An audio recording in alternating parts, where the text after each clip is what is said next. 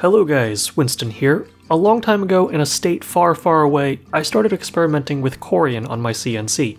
Corian is a mineral-infused acrylic polymer that comes in semi-translucent varieties that, aside from making good countertop surfaces, can be turned into a lithophane. Lithophanes have been on my radar for quite some time now, but I'd never had a reason to try and make one. When I was preparing for my cross-country road trip though, and looking for cool but simple things to make as small tokens of appreciation to give to people along the way, lithophanes popped into my head. Conceptually, a lithophane is a really simple thing. It's a representation of an image that appears only when backlit. Thicker parts of the lithophane appear darker and thinner parts lighter. All you need to do is translate grayscale image into a height map. And yes, I am aware that you can make lithophanes on a 3D printer and do them in unique shapes like a lampshade, but for flat shapes, subtractive manufacturing is actually faster, and your end product will be flawless without having to fiddle around and dial in print settings to ensure perfectly uniform layers. For my grayscale image, I decided to start with something that spoke to my inner aerospace nerd, a rocket launch.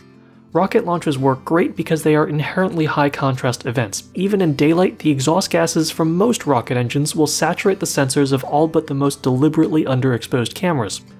After settling on a photo, I brought it into a photo editor and applied a black and white filter. But you can't just apply a dumb filter and expect great results. To really get good contrast, you'll want to adjust how different color channels are mapped to grayscale. To make the rocket stand out, for example, you might want to weaken the blue channel's contribution to the flattened image. This darkens the sky so that the rocket has a little more visual pop. Little tweaks like this will really improve your end result. Once we have an image, we need to create a toolpath from it. There are a bunch of ways you can do this, but the software tool I chose was MeshCAM. MeshCAM has a convenient import option for images that will turn it into a height map. All you need to do is tell it how large to scale the image. Since I'm working with a 5x7 inch sheet of quarter inch Corian, I told MeshCAM my image was 5.1 by 7.1 inches. This way I wouldn't have to worry too much about zeroing and alignment. The toolpath would just drape over my material. I also scaled the Z height so that the difference between the lightest white and the darkest black was 0.2 inches. This means the thinnest my Corian would ever get is 0.05 inches.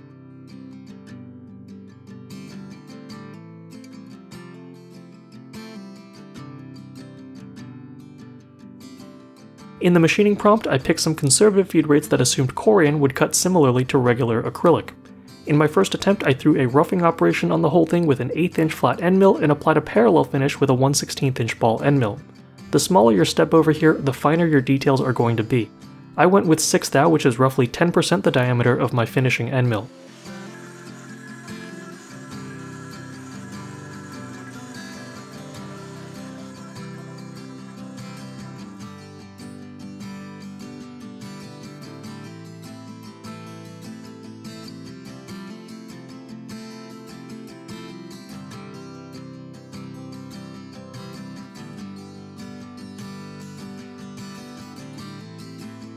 This worked great for my first attempt, but I wondered if there was a way to streamline the process and eliminate a tool change. With a small step over of just a couple thou, I figured a 1 16th inch end mill might actually be able to handle directly cutting through 0.2 inches of Corian. I posted some new G-code without the roughing operation and a slightly smaller parallel step over. And when I first started the toolpath, I ran it at 50% feed rates, incrementally increasing the speed as I gained confidence in the process. This also worked quite well, although the Nomad was a lot happier climb cutting than conventional cutting.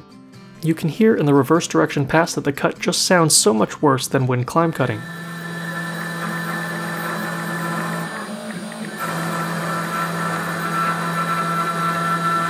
As a result, I didn't hit the same feed rates as the attempt where I roughed out most of my material first.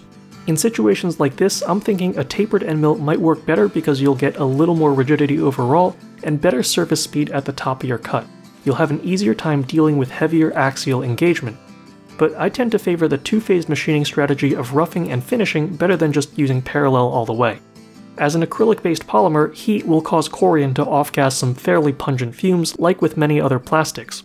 The combination of slower feeds and shallow radial engagement means you can't sequester heat into large chips. Roughing will let you keep your feed rates up throughout the process and the Corian cooler.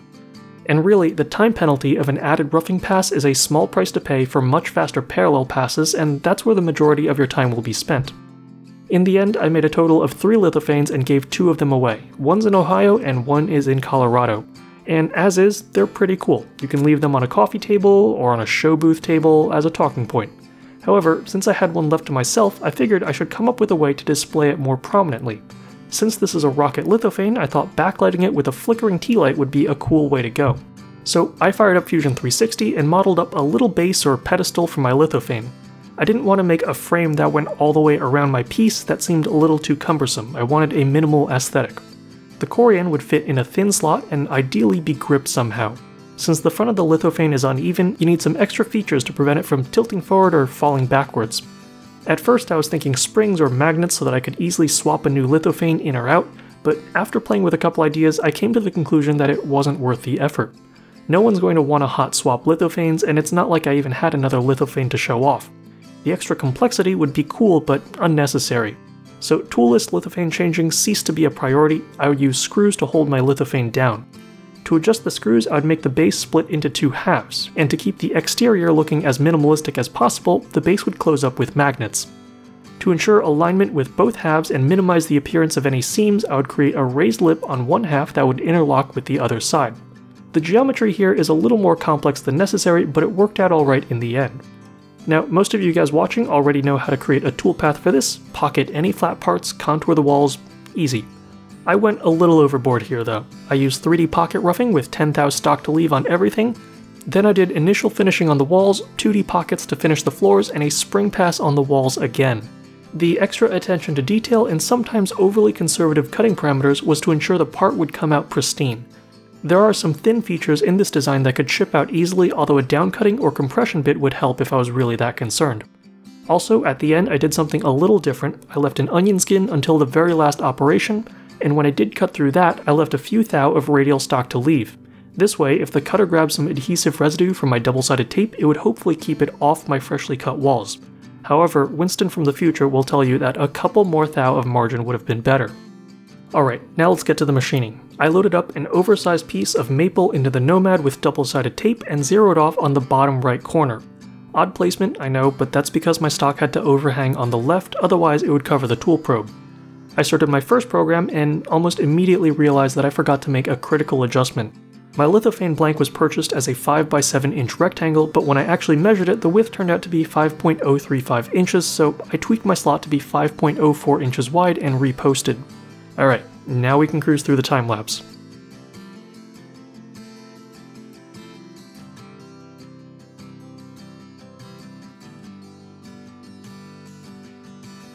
For the most part, this part cut like a dream, but there were places where I felt like my parameters needed adjustment, so I made the changes in the G-code for the second half. Some parts during roughing I wanted shallower step downs or faster feed rates.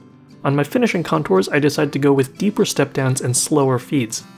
In my second program, I screwed up the order of two of my toolpaths. I pocketed the floors before I'd done my initial finishing contours, so the end mill ran into the radial stock to leave on the outer edges of my pockets. Luckily, it didn't seem to negatively impact the surface finish too much. With climb cutting, any chatter or tool deflection pushes the cutter away from the wall, so your parts can sometimes be salvaged when you run that final contour operation. Other than that mishap, on the second part, things went pretty smoothly.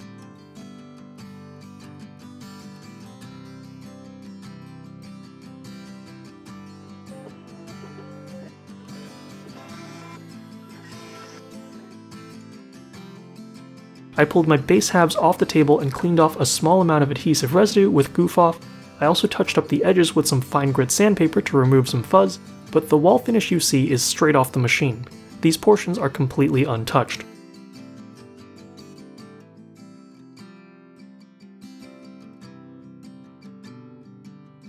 When I got home, I added the screws and magnets and the piece was finished.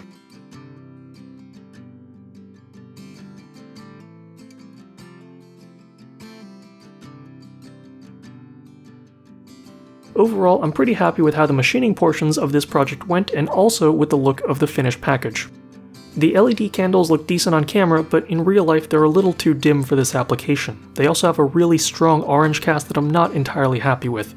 There's also a visible gap between the wood and the corian in places, but that's almost impossible to avoid unless you somehow factor that in when making your lithophane. But that's really a minor gripe that doesn't detract from my enjoyment of this project as a whole. If I were to do this again though, I would change a couple things. One, I would cut the lithophane thinner. The 0.05 inch minimum thickness is fine for indoor use if you hold it up against a standard bulb for illumination, but if you want to use this in a darker room or in more subtle applications, I would go thinner, maybe 30 or even 20 thou thick. 2. There are pockets in my design that were entirely unnecessary. That costs extra machining time and reduced weight.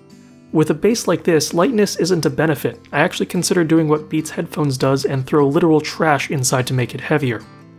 3. Unless you're going to tap this hole or use a threaded insert, this area right here is a weak point and the act of driving a screw can cause this part to chip out. So either blow open this part of the wall from the start or pick a finer thread screw. Number 4, this base would look awesome if I started from bookmatched pieces of wood, but because of the way I cut the interlocking lip, this design wouldn't actually be able to have the grain line up perfectly when assembling. If I switched this design to use interlocking pins, this interface would then be able to match up seamlessly. It would also actually simplify the machining. And lastly, number 5, if I had any inclination to do electronics work, I'd probably make a diffused LED array to put behind this lithophane so I could not only dial in the exact brightness and color temperature I want, but also isolate the flicker to just the rocket exhaust area. But minor quibbles aside, I think this form factor for displaying a lithophane is awesome, and I wouldn't mind revisiting this project in the future to incorporate some of the improvements previously mentioned. I want to thank you guys all very much for watching. Don't forget to check out the Carbide 3D channel where I'll be distilling a lot of the information I've learned through projects like this in shorter informational videos, and I'll be back soon with more CNC projects and DIY nonsense.